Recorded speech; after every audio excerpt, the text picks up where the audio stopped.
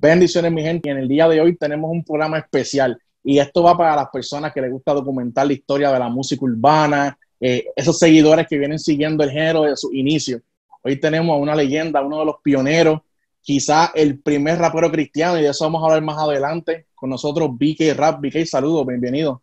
Bendiciones, bendiciones a todos y gracias por, gracias por, por la paciencia, por la, por, por, la invitación, por todo. Thank you so much. BK, vamos a empezar con, con esa pregunta y la hago con, con, con respeto a todo el mundo. Y, y, antes de hacer la pregunta, quiero hacer e-, esta introducción porque eh, me he dado cuenta que en el lado secular, este, ellos le dan honor a, a, su, a sus pioneros.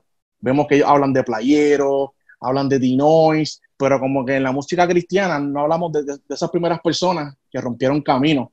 Y este, como estamos hablando antes de comenzar, este, una persona que siempre se escuchaba era Vicky Rap. Le escuché de Funky en la conversación que tuvo con Manny Monte y también Iván Dofilo en su versión de la praxis mencionó Vicky Rap. Así que la primera pregunta que quiero hacer, ¿es Vicky Rap el primer rapero cristiano?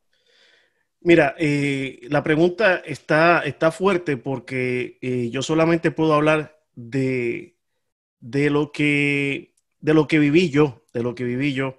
Yo no sé si habían otros raperos cristianos grabando eh, en, en, en, ese tiempo. Yo solo sé que cuando yo salí no había, esto no existía en, en, la, las librerías cristianas fue fuerte porque eh, para, para Jeñito yo era el hijo del diablo y, y para otros eh, ministros, como fue también Jorge Rasky, fue una bendición, fue una bendición, tanto así que las emisoras en Puerto Rico comenzaron a tocarme eh, por, por, ayuda también de, de él, pero eh, yo, o sea, yo escucho muchas versiones de quién fue primero, quién no fue primero. Eh, yo lo que, lo que yo puedo decir es que tuve la oportunidad de producir a muchos raperos, ayudarles, darles una mano, este, pero mi carrera no comenzó siendo un rapero cristiano. Ahora mismo se está haciendo en Puerto Rico una producción que, por cierto, se llama Leyendas, y en esa producción salen los pioneros de la música rap, eh, la música rap. No vamos a hablar ni secular ni cristiano, solamente los pioneros de la música rap, los que hacíamos cassettes y los vendíamos en la calle. No este tipo de cassette, este, no este tipo de cassette. Esta es una de las el, primeras el A-Track, como le llaman. No, no, no, eran cassette, pero no, no así. Este es un cassette profesional. Yo estoy hablando okay. eh, las copias de los cassettes y, y, vendiéndolos en la calle y todo eso. Entonces, se está haciendo esta producción donde hay raperos como Piro JM, eh, Brully MC, Lisa M, salgo yo, eh, está eh, Jimmy, el rey de los raperos, MC Bass, este, bueno, está también, oh my God, Special Eric. Wow, wow, tenemos Don Fígaro. Te, te, estoy hablando, te estoy hablando que antes de que, de que alguien grabara, antes de que alguien estuviese grabando alguna producción, éramos los que estábamos tirando música en la calle. Entonces, luego de eso, pues eh, es más, te voy a dejar a ti hacer las preguntas porque si no sigo. No, sigue, sigue, sigue ahí, sigue ahí, sigue ahí. este, y, y, bueno, el asunto es que eh, llega el momento en el que se presenta la oportunidad y, para grabar y todo eso, y en, y en el 89, en el 89 sale una producción que nosotros hicimos, que por cierto, vale la pena decir que para este entonces ya habíamos hecho pero un sinnúmero de, de conciertos, de, de, actividades, de party de marquesina. Eh, habíamos hecho un montón de cosas, recordando también que en aquel entonces, como dijiste al principio, no estaba ni Instagram ni ninguna redes sociales. Claro. Esto era a, a, pulmón y esto era caminando y esto era eh, yendo de, de, de, un lado para otro, digamos así, este, trabajando el, el, el, el talento, trabajando eh, pues los, los dones. Y entonces, ¿qué pasa? Que mientras se trabajaba todas esas cosas, pues había cierta competencia también, había de momento una tiraera, de momento había, había cosas así, pero, pero dentro de todo existía una amistad bien bonita entre todos nosotros, que por cierto, por cierto, este, eh, eh, es más, yo hablé de más hace un minuto cuando dije acerca de las leyendas y de lo que se está haciendo, pero se está haciendo, se está haciendo y, y dentro del grupo, lo cual tengo que darle toda la honra y toda la gloria a Dios, este Special Eric, el ministro, y, yo también. Entonces, toda, todas las mañanas, todas las mañanas, es a mí al que le toca, pues, eh, presentarles a ellos un versículo de la palabra de Dios todos los días, oh, todos los días. Este es en el, en el grupo de los raperos. Eh, hay, ahora mismo se está trabajando esto de tal manera, de tal manera que cuando esto salga, eh, va a ser algo tremendo, va a ser algo tremendo. Claro, yo sigo representando a Jesucristo. Eh, dentro donde yo me meta, yo voy a seguir representando a Jesucristo, pero me ha dado la oportunidad a través del grupo que tenemos de yo poder ministrar a cada uno de ellos. Recuerda que ahora mismo estamos hablando, esto es de 30 años para atrás. Esto es 30 años para atrás cuando, cuando, cuando comenzamos con todo esto. Y ahora, pues, claro, muchos de, de, nosotros, pues, que si canoso, que ciertas cositas por aquí, por allá, que uno está pasando por asma, que el otro. Cosas de la vida. Pero este, en el 89, yo saqué esta producción, la tengo aquí cerquita, porque justo estoy arreglando el cuarto y, estoy buscando ahí, esperando que me llegue el frame para ponerlo. Pero esta producción que está aquí fue un single que salió, este, tenía el tema Rosendo, DJ Pirito, mi DJ y Biggie Rap. Entonces, este, Rosendo y el tema de We Despedida. Esta producción la hizo Playero. Esto fue producido por Playero. Y... Pero eso era... Eh, con el mensaje eh, más secular o ya ahí estaba haciendo música con era, eh, el mensaje el, Sí, el mensaje, el mensaje era positivo, porque lo que sucede es que como nosotros veníamos, nosotros veníamos arrastrando un montón de basura de la calle, la única manera que nos iban a tocar en la radio era si traíamos mensajes positivos. Entonces sale por ejemplo, que si la escuela, este, sale la recta final también, sale Brully MC con la del SIDA, sale eh, De Muy Despedida y Rosendo también, y, y, así pues salieron muchas canciones, en aquel entonces salieron muchas canciones, eh, que por cierto, eh, hubo muchos más que, a ver cómo te puedo decir esto, que no suene arrogante, la historia que se conoce, la historia que se conoce, es mucho más amplia de lo que la gente sabe, es mucho más amplia, porque aunque hayan habido, y, y, admiro, y es un gran amigo, un gran hermano, eh, Vico, Vico es el pionero, y siempre lo voy a respetar, siempre lo voy a admirar, pero en cuestión de, de, de ve que tú sabes que está la película, ¿verdad? Entonces hay una película y está el actor principal, pero también hay un elenco, y ese elenco es el que le da fuerza a ese actor principal. Entonces, en, en, en, esta historia, en esta historia de la música urbana, hubo muchos, hubo mucho, hubo mucho elenco, hubo mucho elenco y, eso pues le dio peso al género. En el 89 yo grabo esa producción y es en el mismo año 89 cuando mi mamá me dice a mí que se va a mudar para Orlando, para, para Kissimmee. Y entonces yo le dije, yo me quiero ir contigo porque yo no vivía con mi mamá, yo no vivía con ella. Y cuando me dice que se va a ir, digo, pues yo me quiero ir contigo y me dice, pues vente me fui para, para la Florida. No, primero me dijo que no. y después le tuve que insistir y me dijo que estaba bien. Y entonces llegamos a la Florida en el 89 y en el 90, para el 91 por ahí, es que fui a una iglesia, bueno, 91, fui a una iglesia por primera vez. Y para mí eso fue algo bien, bien, bien tremendo y bueno, antes del 91, pues hacía la música con mensaje positivo, pero en el 91 fue donde tuviste el encuentro con Jesús.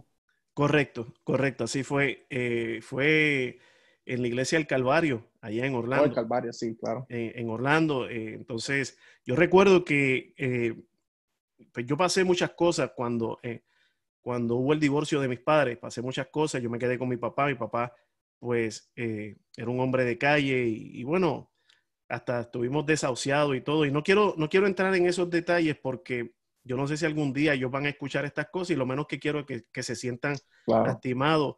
Por eso, eh, mami, papi, yo siempre voy a apreciar todo lo que ustedes hicieron por mí. Por eso soy el hombre que soy hoy día y gracias por todo su sacrificio. Sé que me dieron siempre lo mejor de ustedes y estoy muy agradecido con ustedes. Pero eh, sí, pasé muchas cosas, muchas situaciones y entonces cuando yo voy a la iglesia, el pastor, que en ese entonces era el pastor José Cintrón, el pastor está hablando y cuando él está hablando, yo dije, alguien le vino con el chisme, alguien le dio el bochinche. le hablaron de mí. le hablaron de mí. Y es que todo lo que él estaba diciendo era como si fuera para mí.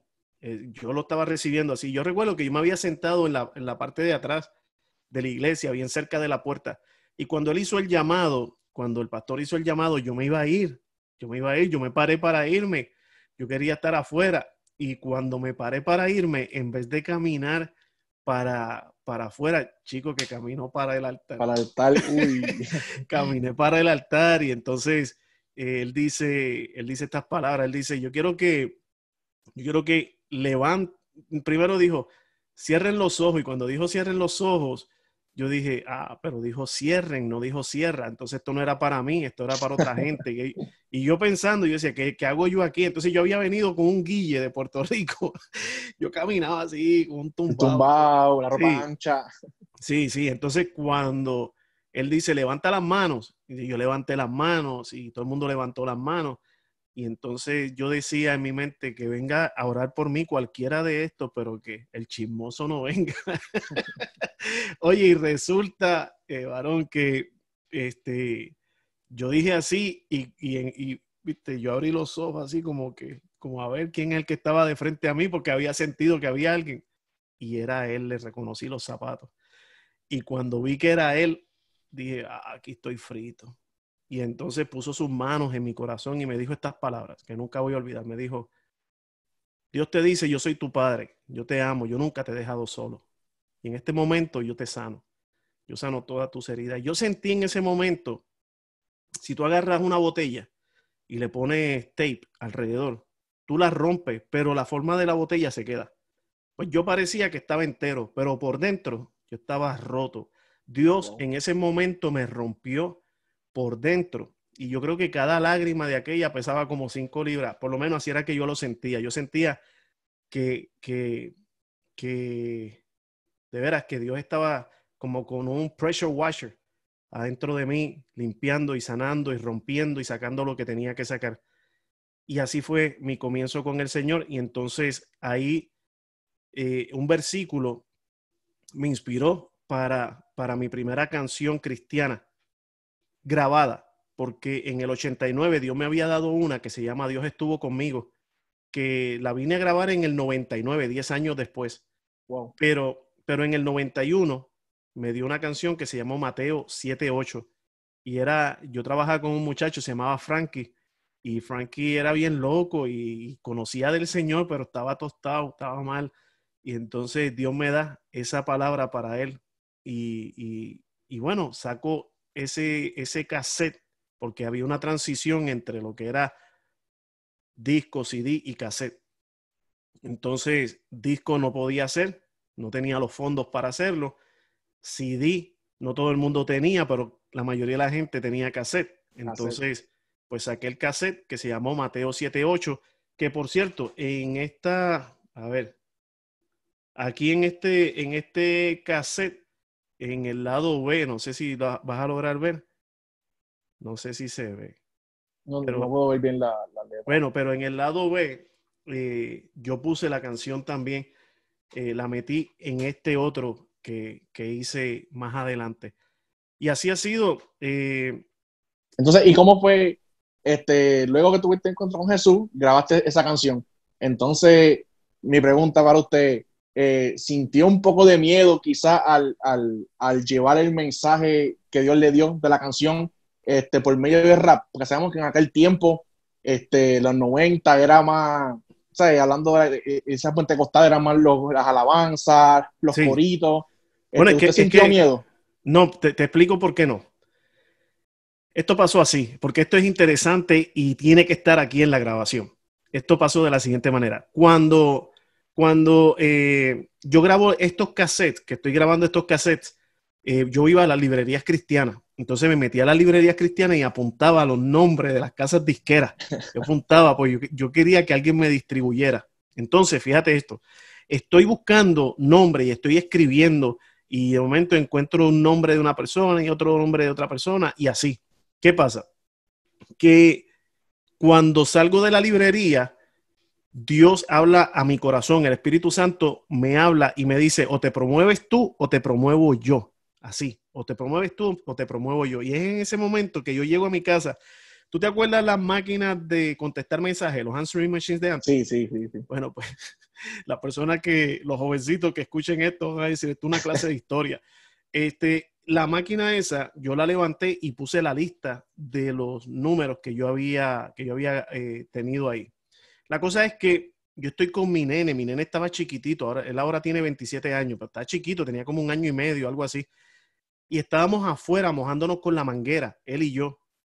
estaba chamaco también, estamos mojándonos con la manguera y de repente me suena el teléfono. Cuando me suena el teléfono, que yo contesto, me dicen BK. Y yo digo, ¿quién habla? Y me dice, habla Norberto Rodríguez. Y yo dije, ok, me dice, yo tengo tu cassette en mi mano. Yo estoy en Melbourne, Florida. Ahora mismo, yo tengo tu cassette en mi mano y yo quiero conocerte. Y podemos ir a tu casa. Y yo le dije, pues está bien. Y yo estoy pensando, ¿cuándo? Mañana. Me dice, pues ya vamos de camino. Cuando me dijo, ya vamos de camino, yo he pegado carrera con mi nene que nos resbalamos y todo, estábamos todos mojados. Bueno, a fin de cuentas, llega Norberto Rodríguez y llega acompañado de un gran maestro que se llama Peter Sanabria. Peter Sanabria, por ejemplo, eh, bueno, es que tiene tantas producciones que, que, bueno, cosas que él ha producido musicalmente, pero por ejemplo, Blanton Rivera, la canción que dice, este, eh, eh, oh my God, de levantar las manos, bueno, anyways, después lo buscan, Blanton Rivera. Bueno, pero muchas canciones, muchas canciones que él ha hecho y, llegaron hasta mi casa. Esto, esto, esto es como te lo estoy diciendo. Cuando ellos llegan a mi casa, me dicen, pon, pon lo, que, lo que has estado grabando, queremos oírlo. Y yo se lo puse. Y bueno, se fueron a la sala a hablar, me dejaron solo. Al rato volvieron y me dijeron, ¿tú estás dispuesto a viajar?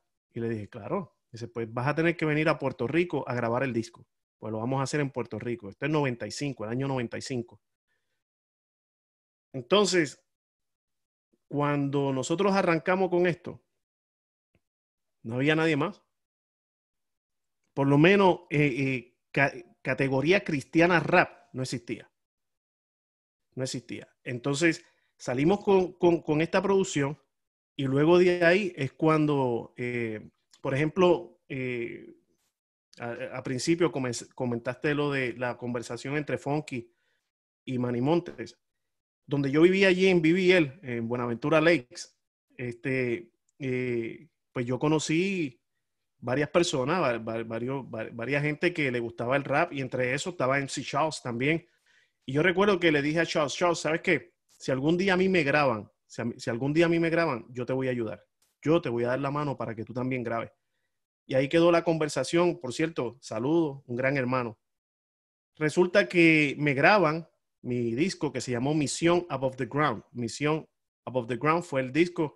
La carátula la hizo un, artista gráfico de aquel tiempo que estaba haciendo las carátulas de, de Dinois y todo eso, que se llama Wiwi. Wiwi hizo la carátula de nosotros y puso un DJ y una mujer cantando y toda esa cuestión. Y bueno, pues así salió el disco. Entonces, eh, me dicen los productores, vamos a hacerte otro y hay que sacarte otra producción. Y ahí es cuando yo le digo a ellos, yo le prometí a un amigo mío que, que, que a mí me gustaría sacarlo a él y ayudarlo. Entonces me dijeron, bueno, pues, este, pues, pues hazlo. Y es cuando, es cuando eh, sacamos esta producción que está aquí. No sé si puede leer. Sí, vi que representa en C. Charles. Exacto. Solo sacamos esa, después sacamos, sacamos más, sacamos más cosas, después sacamos otro que se llamaba eh, Gracias, creo que era que se llamaba. bueno, como tres o cuatro producciones, ni me acuerdo cuántas fueron, pero saco eso y los productores vuelven otra vez y me dicen, queremos que saques otro más. Y ahí es cuando yo le digo, pero vamos a hacer algo diferente, porque ahora mismo hay muchos CD de compilaciones donde hay un montón de raperos y cosas así. Pero escucha, y todo esto lo digo para la gloria del Señor. Cuando, cuando me dicen que saquemos otra producción, hay un montón de, chamaquitos que, que, quieren hacer algo, pero, pero no, o sea, no tenían la ayuda, no tenían alguien que los empujara. Y yo me acuerdo que les dije, pues mira, pónganse el nombre, dale, ¿cómo tú te vas a llamar? ¿Y cómo ustedes se van a llamar? Y así, entonces empiezo a escribirle las canciones. Escribí las canciones de ellos. Las únicas que no escribí yo fueron las que cantó MC Charles, que salió también en esa producción porque era parte de la compañía. Como él era parte de la compañía, lo metí ahí. Pero es un disco que se llama Contra las Tinieblas Live. Está ahí en, en YouTube, se puede conseguir. Y sacamos esa producción donde salía eh, Chrism. Este, ha grabado varios CD, grabó eh, también con, uh, con músicos, eh, también eh, Little Sammy, Sort of Faith, que de ahí sale Double Impact. salió también ahí, bueno, hay varios, hay varios que están por ahí que salieron en esa producción. El asunto es que sale eso y los productores vuelven otra vez y me dicen, danos otro disco. Otro más. danos otro disco. Ah, GOS, el grupo GOS sale ahí también porque resulta que Norberto Rodríguez es el papá de GOS, de los muchachos. En aquel entonces, pues ellos, eh, ahora mismo Brian es pastor y Yacen, eh, no, no, sé qué está haciendo, pero, pero Yacen es tremendo también, muy talentoso.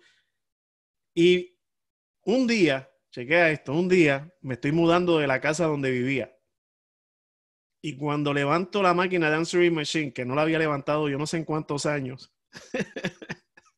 levanto la máquina y cuando miro la libreta que yo había escrito, los primeros dos nombres que estaban escritos ahí era el de Norberto Rodríguez y el de Peter Sanabria.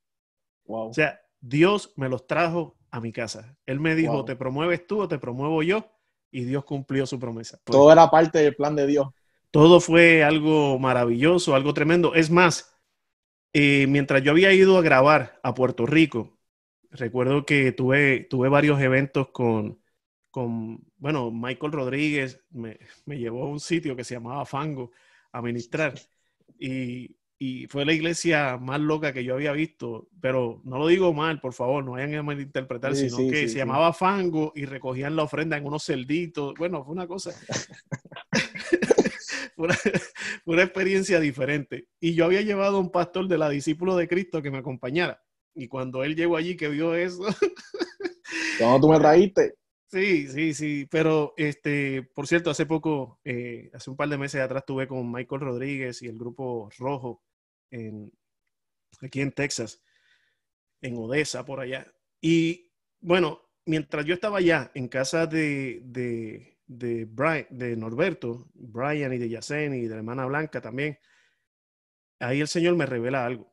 Y lo que Dios me había revelado era que a los muchachos les querían hacer daño. Y yo me levanté sudando y le dije, mira, vamos a orar porque eh, Dios me ha revelado algo. Y la cosa es que oramos y al poquito tiempo unos ladrones se metieron. Ellos se habían ido a Nueva York de vacaciones y se metieron unos ladrones y estos ladrones eh, rompieron toda la casa, y aparte de eso salieron de ahí y mataron a la vecina. Oh, wow. Esto fue algo que Dios, Dios los guardó. De ahí se mudan a la Florida y de ahí es donde entonces yo los grabo a ellos también para que sean parte de Contra las Tinieblas Live. Y así, y así hicimos muchas cosas, fueron muchas cosas, hicimos muchos, muchos eventos, este, eh, esto de que, de que hubieran varios raperos eh, cristianos en una sola producción, viene de Contra las Tinieblas Live. Claro, no estoy diciendo que, que, se copiaron de eso de ninguna manera, sino que nosotros tuvimos la oportunidad de hacerlo. Tuvimos la oportunidad de hacerlo. ese camino. Quizás, quizás los demás que lo hicieron no, no, se fijaron en nosotros para hacerlo, quizás se fijaron en que los seculares lo estaban haciendo y lo hicieron también. Pero este, cuando ya ellos lo hacen, pues, y nuevamente, toda la honra y gloria para el Señor, ya, ya habíamos nosotros eh, abierto camino a machetazo para que se les hiciera más fácil a los demás. Amén, amén. Entonces, Vicky, en, al principio me dijiste que hubo un sector de la iglesia, que cuando, que cuando usted salió con el rap, le decían que era hijo del diablo, y hubo otro sector que lo aceptó.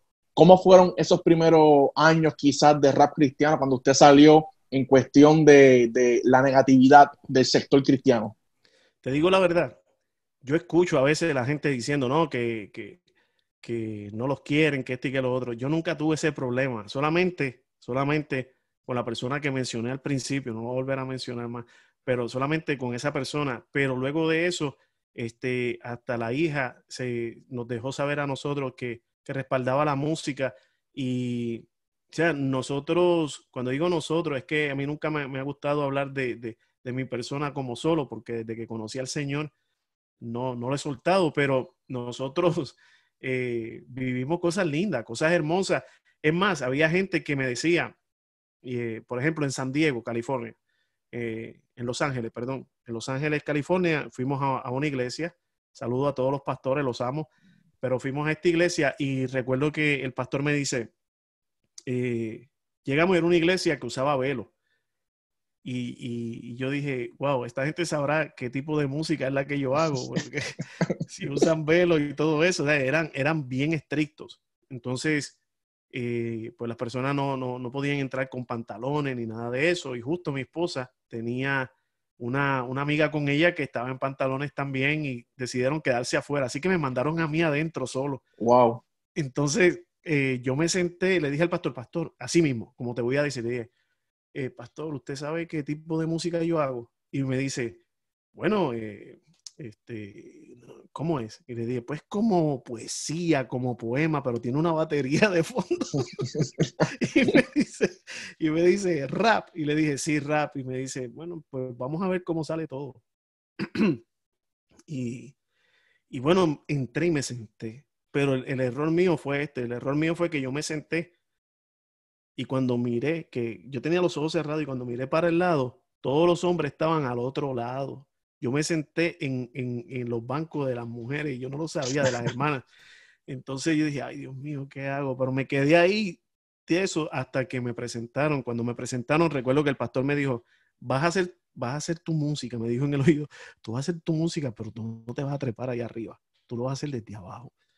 Y dije, no, pues está bien. Entonces, lo que comencé fue con mi testimonio hablé de mi testimonio cinco minutos y, dije, pues esto es lo que Dios ha puesto en mi corazón, así que espero que lo disfruten.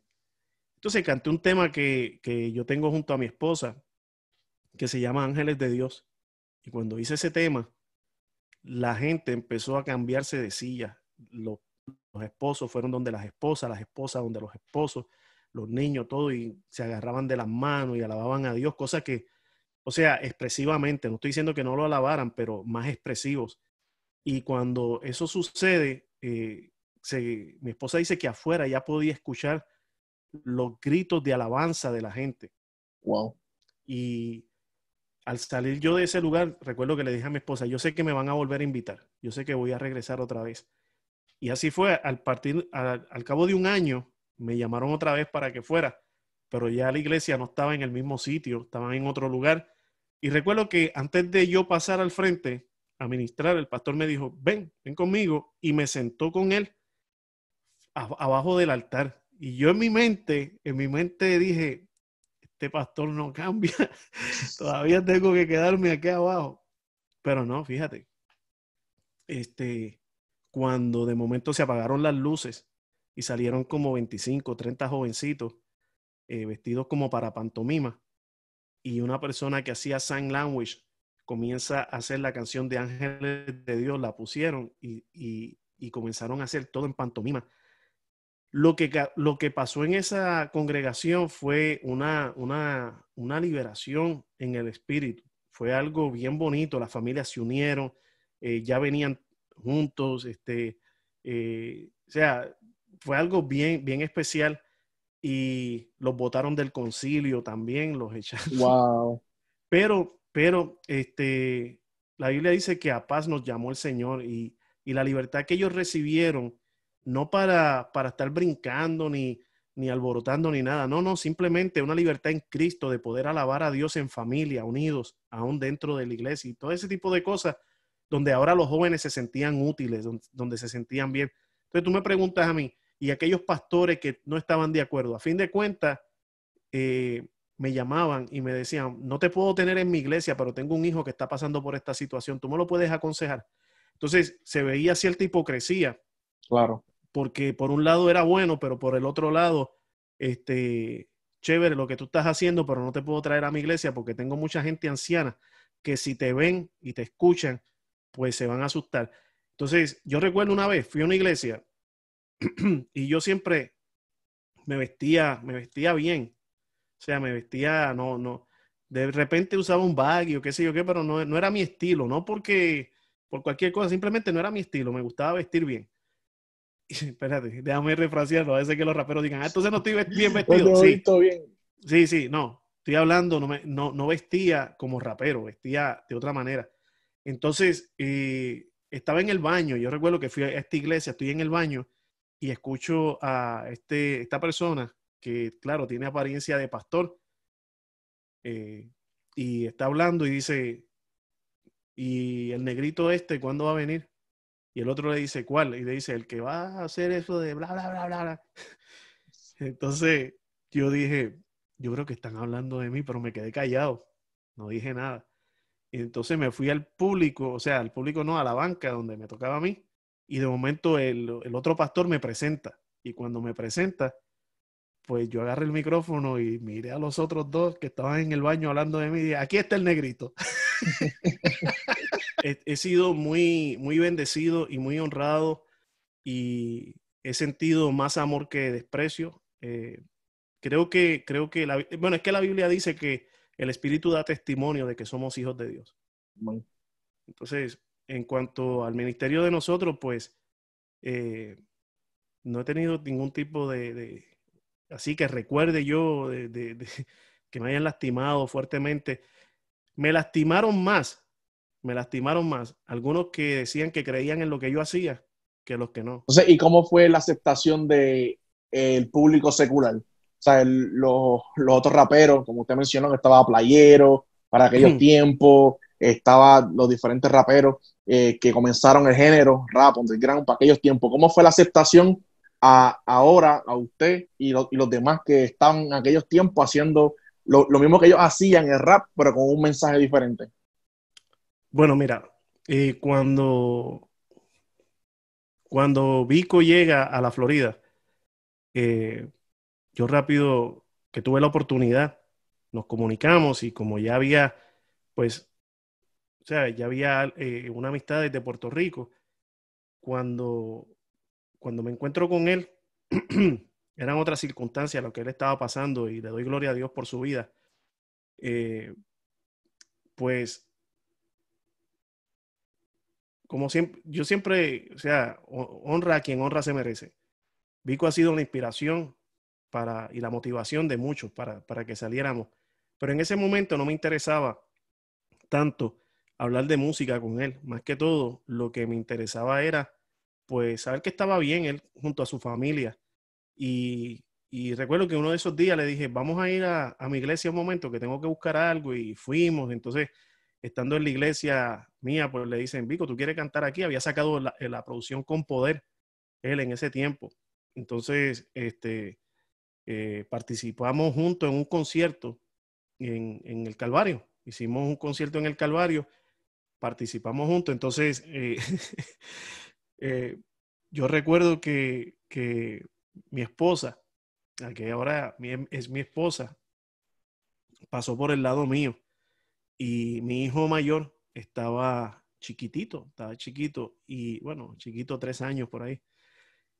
Y estaba llorando, yo le estoy amarrando los zapatos a él. Y es que Dios tiene una manera de trabajar que, nosotros no, no podemos comprender a veces. Y pasa esta familia, y cuando pasa esta familia, mi esposa, que es ahora mi esposa, este, y eso pues es otro, otro tema, pero, pero cuando ella pasa, mira a mi hijo y le dice, qué bonito, ay, qué lindo. Y, yo la miré y le dije, gracias. yo sabía que no era a mí, pero, pero le dije gracias. Entonces, este, hicimos el concierto y de ahí pues eh, quedó todo ahí y más adelante Vico me busca y me dice, eh, Vicky, podemos ir a tu estudio, podemos ir a tu estudio este, para grabar algo. Y le sí, claro, este, cuando, cuando tú me digas. Ven, claro, era un estudio, un estudio chiquito, eh, en la casa, en la casa. Entonces vino con Funky, es cuando yo conozco a Funky por primera vez. Vino con Funky, este, eh, y él, y el piano. un, keyboard y grabamos ahí Dándote Vida, donde se graba el tema Dándote Vida. Entonces, en cuestión de qué pensaban los demás raperos y todo eso, yo creo que también siempre he tenido un respeto. Este, lo, he tenido de, de, Funky, lo he tenido de Vico, lo he tenido de otros raperos seculares también. Este, creo que aunque como toda persona he tenido altas y bajas, he tenido situaciones, pero siempre me he mantenido en, en, en el ministerio y siempre he honrado a Dios y siempre he servido. A los que he servido les he servido de corazón.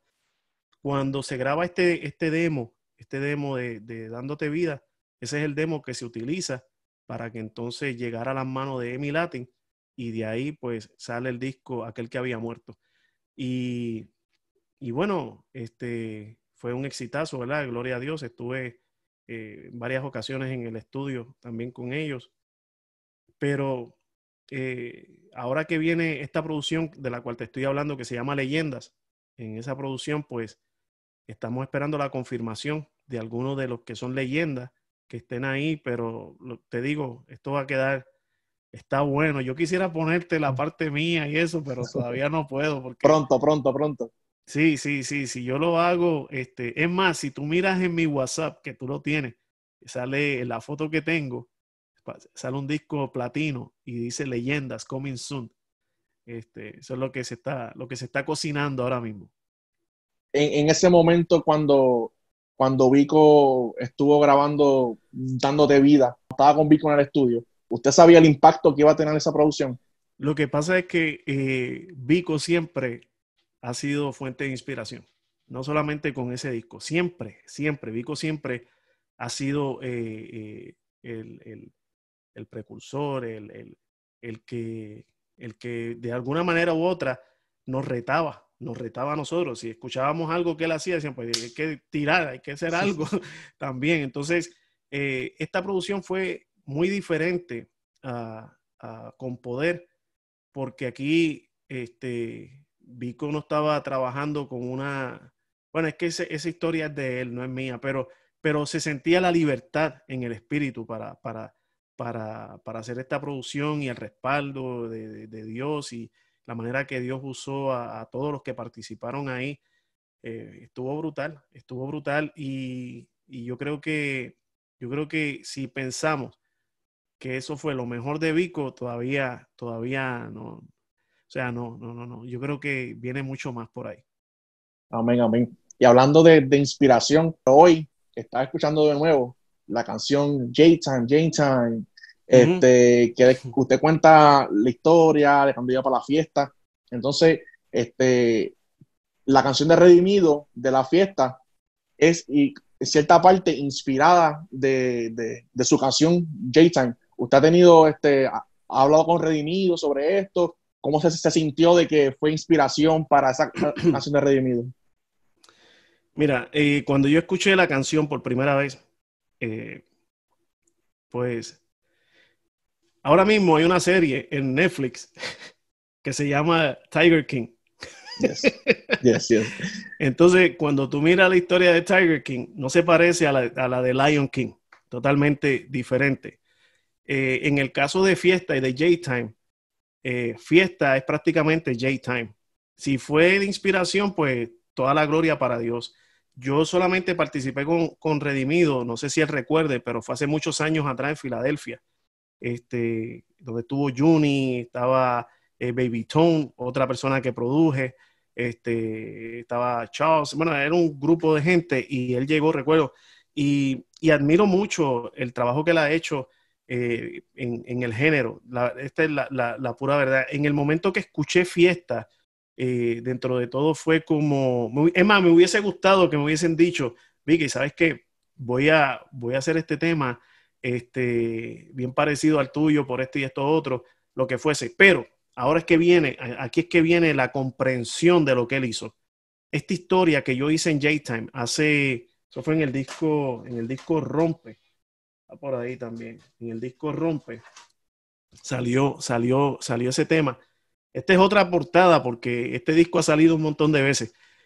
Pero pero en el disco Rompe, cuando sale ese tema que se grabó en el, a, lo último del 99 y salió en el 2000, eh, pues es una historia de, una invitación que te hacen, así como la de fiesta, así mismo, y, esto le puede haber pasado a, miles de personas que te hayan invitado y que a fin de cuentas te encontraste con Dios. Y si eso fue lo que le pasó a él, pues gloria a Dios, o al que sea de, la historia, pues gloria a Dios, porque eso no es algo exclusivo de, de BK, que, que te inviten a un sitio y que aparezca otra cosa.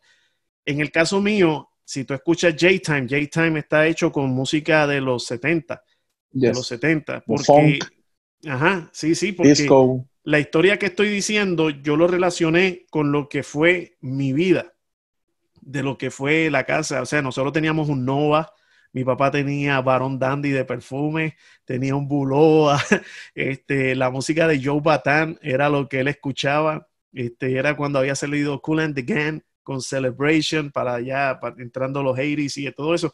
Entonces, yo lo que hice fue que incorporé todos esos elementos para decir la historia que sucedió eh, prácticamente en mi vida, eh, en, la inspiración de esa canción. Pero, repito, repito, eso, esa historia que sacó Redimido en fiesta o que yo saqué en J-Time, eso le puede haber pasado a todo el mundo. Eso no necesariamente sé si fue una inspiración o si fue una vivencia o si fue una copia, no sé. Yo solamente sé que, eh, pues, eh, gloria a Dios, gloria a Dios. Si la historia sirve para, que alguien venga a Jesucristo, está todo bien. Amén, amén. Entonces, otra, otra cosa que usted, mucha gente le, da como, como, el creador, es de la frase, el que, el que no brinque no va para el cielo. Ajá, el que no brinque no va para el cielo. ¿Cómo nació eso? ¿Cómo fue el momento? ¿Eso fue algo espontáneo, algo que usted planeó? ¿Cómo nació? No, te, voy a decir, te voy a decir cómo surge esto. Estábamos en Venezuela ministrando, estaba el soldado y yo. Teníamos eh, una gira en Venezuela desde Maracaibo, este, un montón de sitios, teníamos que ir a ministrar. Entonces estábamos en el Palacio de los Eventos. Y cuando estamos en el Palacio de los Eventos, este, pues empezamos a, a brincar y esto y lo otro.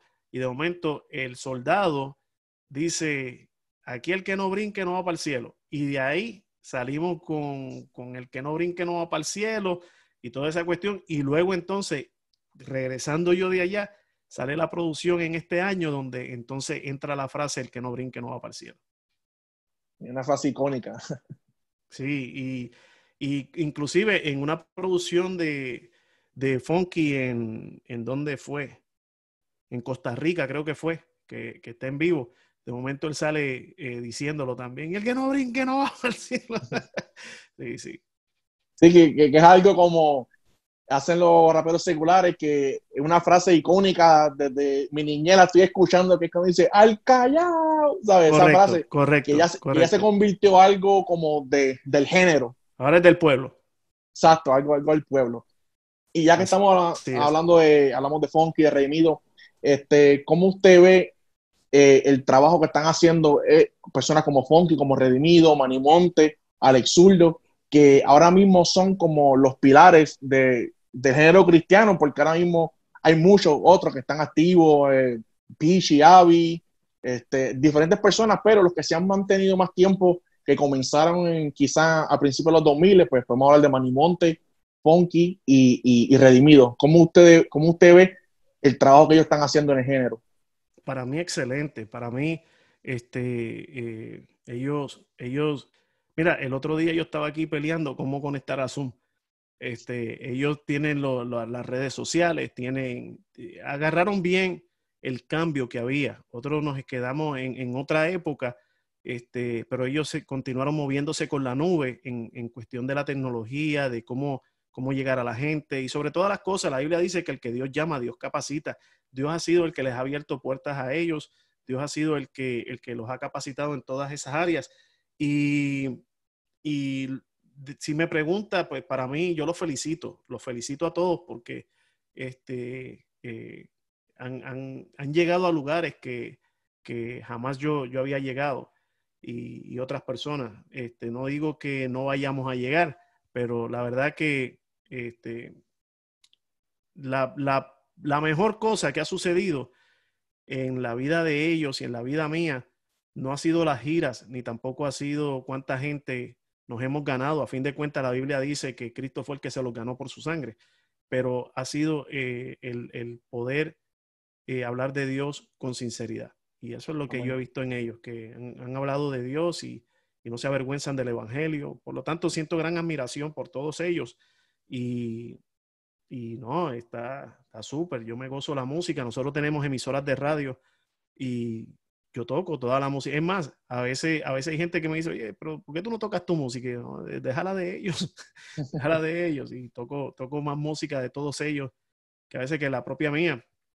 Y, me la gozo y la disfruto. ¿Y cómo usted ve este, esta nueva generación? Sabemos que se está levantando una nueva generación y yo he hablado de estos temas con otras personas anteriormente porque para mí, o sea, yo conozco a Jesús en el 2013. Anteriormente a eso, pues yo era seguidor de la música secular, del rap, lo que llamamos el maleanteo. Luego, en el 2013, conozco a Jesús, aquí comencé a escuchar a Redimido, Manimonte, Funky y Alex Zurdo. Fueron los primeros cuatro que comencé a escuchar. Y hubo un tiempo donde, como me atrevo a decir, de 2013 a 2015, como siempre se veían lo mismo. Funky, Manimonte, Alex Zurdo, lo mismo. Pero luego de 2015 hubo como una explosión, como un avivamiento en la música urbana cristiana que comenzaron a, a nacer muchos nuevos talentos. No sé si usted está al tanto de los nuevos talentos, y me gustaría saber que, cómo, cómo, usted lo ve, esta nueva generación de, de, los jóvenes que están haciendo música. Ahora hablamos de inspiración. Ahí es donde, donde no sé si, si hemos sido en algún momento inspiración para ellos, pero lo que Dios está dándole está, está brutal. Yo, yo, escucho las canciones y todo y digo, qué bien, qué bien, y, y estilos nuevos, y o sea, eh, yo creo que, yo creo que, mira, este, hay, hay música para todos los gustos. Hay música para todos los gustos. Hay gente que, que le gusta irse. ¿Te acuerdas cuando, yo no sé si tú tuviste la experiencia de sentarte con tu abuelo y te decía, mira, esto es música, esto es música. Era bohemia. Sí, claro. Entonces, este, pues lo mismo pasa en este género. Hay gente que va a escuchar algo y va a decir, pero ¿qué es eso? Quita eso. Porque no entiende el trap o porque no entiende el, el, el reggaetón o lo que sea. Pero, pero cuando, cuando estemos más viejos, los, que, los de ahora van a decir, a ver, ponme ahí a, a, Funky. Entonces los nietos y los bisnietos van a decir, ¿qué es eso? Quita eso, abuelo. Entonces, yo creo que, que todos estos talentos que, que, están surgiendo para la gloria y honra del Señor vienen a buen momento, es otras generaciones. Eh, y, y, y, también hay otra cosa. Eh, eh estos muchachos también tenían unos record labels este, en aquel entonces, ¿verdad? Que les producían como canción, este, otros otro record labels también que les produjeron a ellos. Y cuando, cuando viene la transición, por decir así, YouTube y las redes sociales y todo eso, este, o, bajar la música por internet y todas esas cosas, pues ya venían también con, con, un respaldo que a otros les costó un poquito más llegar hasta ahí. Mi, mi último, eh, en el 2005, yo saqué 2005 fue, 2005, 2005, sí, creo que fue que saqué un disco que se llama Controversial, lo saqué con, con Universal eh, Music Latino. Este, y, ellos, claro, lo llevaron la música a, al internet. Yo estaba bien emocionado cuando vi que, estaba la música ahí. Pero eh, lo que han hecho estos muchachos, la cantidad de videos que tienen, eh, los approaches, los conciertos que hacen, la calidad de los conciertos, este, o sea, no, no, no, es otro nivel, es otro nivel, no tienen nada que envidiarle a los seculares. No, claro que como usted dice, este, para mí esto de las redes sociales ha, ha sido como una transición, para mí la transición más grande que ha visto, que ha visto en cuestión de antes de que sea CD, como esto de, de CD a digital, ha sido como una explosión ahora mismo con Spotify, Apple Music, lo que es YouTube, que quizás usted, usted en su tiempo grababa un cassette, tenía, como usted dice, que venderlo en la calle, el cassette, darle copia. Ahora mismo un joven saca una canción, la graba desde su estudio en su casa, en cuestión de una hora, dos horas, le edita, la sube a YouTube e instantáneamente está ahí al alcance de millones de personas. yo pienso que por eso que también en estos últimos tiempos se ha visto una explosión por, por las redes sociales también. Sí, y y que la saben manejar, la saben manejar muy bien, están constantemente, constantemente. Yo tengo una niña, bueno, tengo, somos cuatro, cuatro hijos que tengo, perdón. Tengo a Roberto Enrique, que es pastor allá en Orlando. Él es eh, líder de adoración y alabanza en la iglesia First Baptist Church de Orlando. Este, Roberto Enrique, tengo a Ángelo, que tiene 15 años, tengo a Bianca, que tiene 9 años, y tengo a Vela, que tiene 6. La de 9 años, ella, ella, ella piensa que es youtuber y a veces está, a veces está con un teléfono que no tiene ni internet. Y entonces ella agarra el teléfono y dice, hello guys, estoy aquí, que esto, que lo otro. Y yo la veo desde que tenía como siete años, se, pasa haciendo así, que como que es una youtuber, hasta que le tuve que hacer un canal y ahí está. ahora youtuber de verdad. Ahora, ahora sí, ahora sí. Y la de seis en estos días me dice, no es justo. Me dice, it's not fair. Digo, que, que no es justo. Y me dice que, Vela, que Bianca tenga un canal y yo no tenga uno. Y yo digo, eh, niños, es otro, es otro mundo, es otro mundo. Lo que estamos viviendo es otra cosa. Yo me acuerdo la primera tablet que yo tuve. Mira, la primera tablet que yo tuve era de agua. Tenías que echarle agua. Y entonces tú le dabas así y había una bolita que...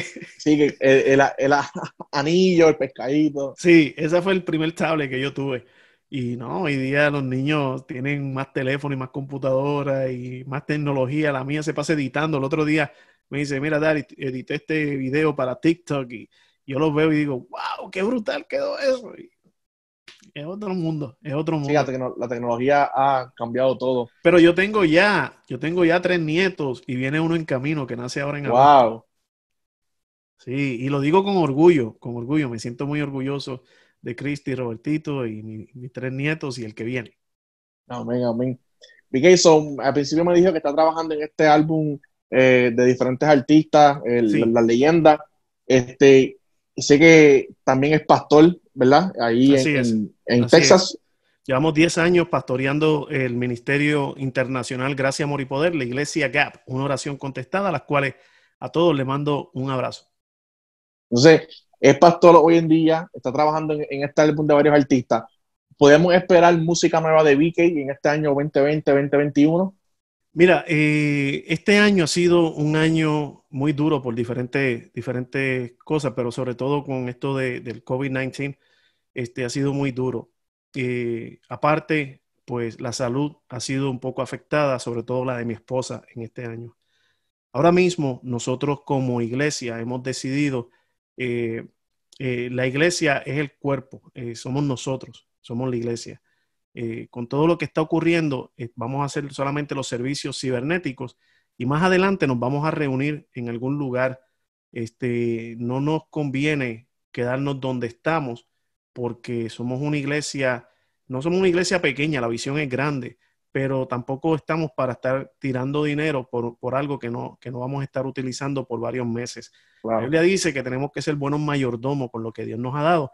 Entonces, eh, la iglesia Gap eh, seguimos más fuerte que nunca, estamos creyendo a Dios para cosas grandes, pero vamos a aprovechar estos meses para guardar, vamos a guardar, vamos a, equiparnos bien para que entonces comprar para nosotros. Nosotros hemos, bueno, esto es otra cosa, pero, pero estamos hablando de que, de que eh, más de un cuarto de millón de dólares que hemos, que hemos dejado.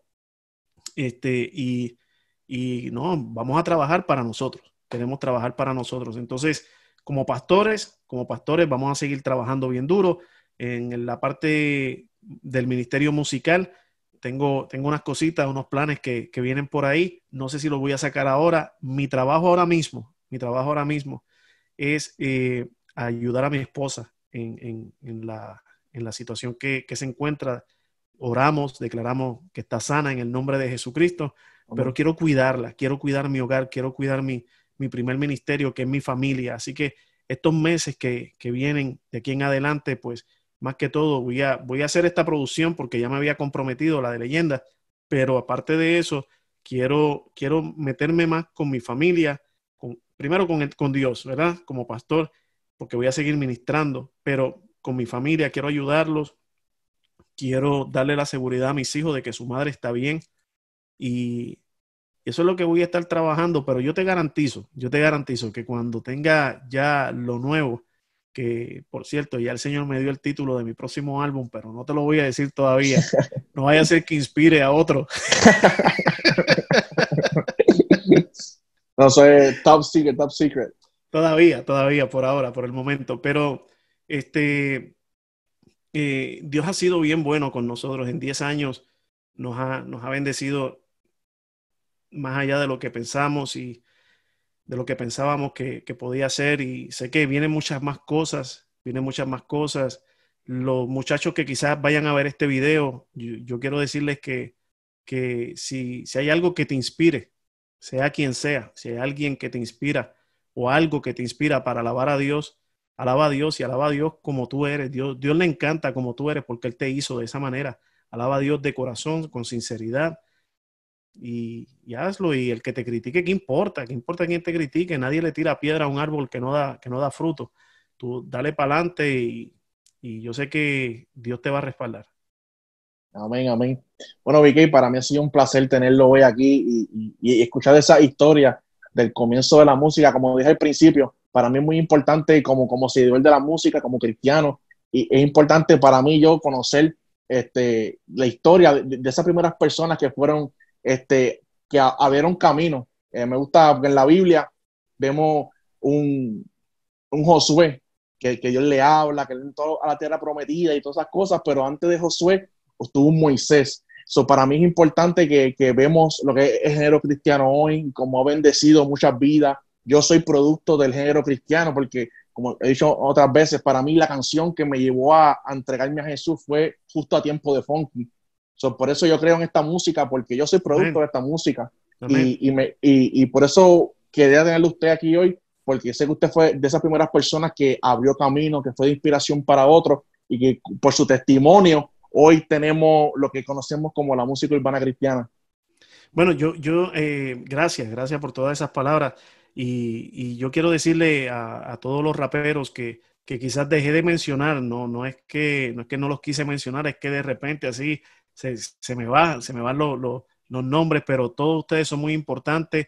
Eh, y, Iván Filo, este, eh, todo, todo el Big Will y toda esa gente que, han estado ahí siempre representando, este, y, todos los demás que, los más que están sonando también, todos ustedes, Redimido, Funky, eh, Alex Zurdo, todos ustedes mi respeto para ustedes. Eh, sé que Dios los está utilizando en una, escala totalmente diferente y, los bendigo por todo eso. Y gracias, gracias por, darme la oportunidad de poder expresarme a través de este medio. Y aquí estoy para servirles siempre. Amén. Eh, ¿dónde las personas pueden escuchar su música? Quizás algún joven que nunca haya escuchado de Vicky Rap después de esta entrevista, él quiera comenzar a escuchar su música, ¿dónde la pueden conseguir? Bueno, eh, pueden entrar a bkrap.com o también buscarme ahí en YouTube. Pongan bkrap pensando, controversial, rompe, eh, misión, o eh, cualquiera así. Y si no, que se comuniquen contigo y yo les doy más, más, más, manera para, para, conseguirme. Pero estoy para servirles, para servirle a todos ustedes. Bendigo tu vida, bendigo lo que estás haciendo. Gracias por, por traer este tipo de, de yo diría enseñanza, eh, lo que viene siendo la historia de la música rap y urbana, urbana. Así que gracias, gracias por, por darme este tiempo, te lo aprecio mucho. Amén, gracias a usted, bendiciones. Bendiciones.